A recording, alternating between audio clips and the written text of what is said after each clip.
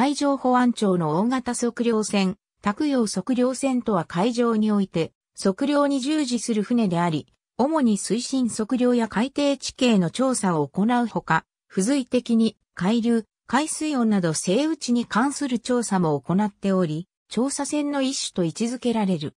測量船の主な作業となるのが、推進測量による海底地形の調査である。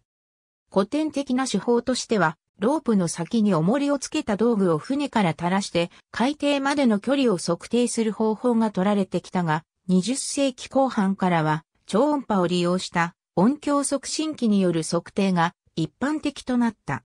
近年では複数のビームで同時に操作することで海底地形を即座に等身線図として作図できるようにしたマルチビーム音響測深機が主流となっている。これらの測量結果を活用するためには、測定した位置を正確に知ることも重要である。繊維の測定は、古くは転速工法で行われていたが、後にはロランやデッカといった地上系の電波工法が普及し、さらに衛星測位システムも実用化された。このように複数の測位システムが乱立したことで、これらの情報を精度に応じて、取捨選択、統合するための複合測位装置が搭載されるようになったが、GPS が整備された現在では、情報統合というより、様々な観測機器を有機的に結合した測量船運行の中枢機構としての性格が強くなっている。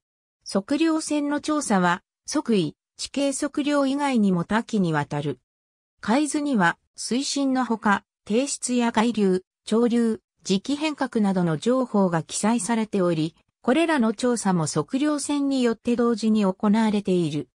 また海洋開発など海の利用の多目的化が進むにつれて、日本の海上保安庁では、その基礎資料として、海底地形図とともに、海底地質構造図、地磁気全磁力図、重力異常図をセットにした海の基本図の作成を進めており、そのための調査も測量船によって行われている。ありがとうございます。